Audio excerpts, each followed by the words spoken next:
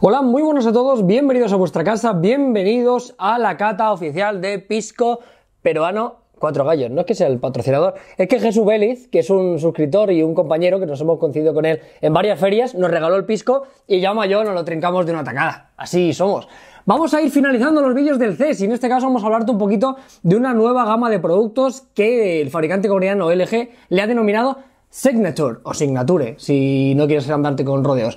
Hoy nos vamos a centrar sobre todo en lo que más tocamos nosotros, como son las teles.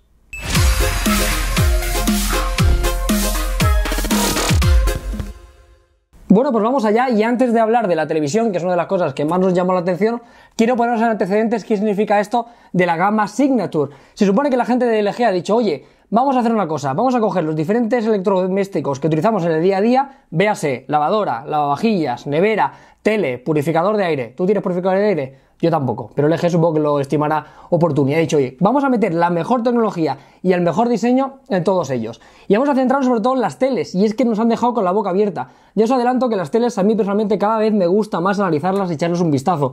Y creo que es una de las mejores televisiones que hemos visto nunca. Diferentes tamaños, una tecnología OLED de la cual os hablaremos. Pero ¿qué cosas nos han llamado la atención? Sobre todo la delgadez. En este caso tenemos un panel con diseño Picture on Glass ¿En qué se traduce esto? Porque es un panel OLED ultra delgado de únicamente 2,57 milímetros. Es asombroso. Estaréis viendo en diferentes imágenes cómo habían incluso algunas peanas que rotaban para poder ver en diferentes ángulos el grosor. La verdad que parece mentira. Cuesta creer que únicamente en menos de 3 milímetros sean capaces de poder incorporar eh, toda la tecnología necesaria para poder reproducir esta televisión. Y es que además se ve muy bien y es una de las ventajas que tiene la tecnología OLED. Además de unos colores súper puros, un contraste muy elevado tiene la gracia de que la retroiluminación es mucho más simple, entre comillas, no necesita tantas fases y con eso se consigue esa delgadez prácticamente extrema. El apartado del diseño también es muy importante y se nota que la gente de LG le ha querido poner muchísimo mimo. Lo decimos siempre en los análisis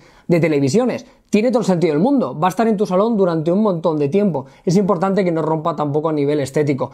Una de las cosas que también están bastante bien y que hacen referencia a esto, al apartado estético, es que los altavoces están directamente integrados en la peana y apuntando hacia nosotros. Evidentemente no vamos a poder hacer un juicio de valor de cuál era el altavoz con todo el ruido que había en el, en el CES de Las Vegas, pero bueno, nos gusta que esté puesto en esa ubicación. Más cosas que queremos comentaros. En este caso, evidentemente, la tecnología es UHD, la máxima que encontramos en este tipo de paneles. Y además han recibido el sello Ultra HD Premium de la UHD Alliance, una que han recibido diferentes fabricantes de televisores certificando que sus paneles son óptimos para poder reproducir contenido de máxima, de máxima resolución. También hay un aspecto que prácticamente todos los fabricantes están introduciendo y es el HDR. Ya sabéis High Dynamic Range, poder mostrar colores muy contrastados, diferentes situaciones con diferentes niveles de brillo y un montón de detalle. La verdad que, como os decimos, todos los fabricantes lo están introduciendo. Muchas plataformas online, entre ellas Netflix, ya están grabando contenido con esta tecnología para poder adaptarla, así que sin duda no podía faltar.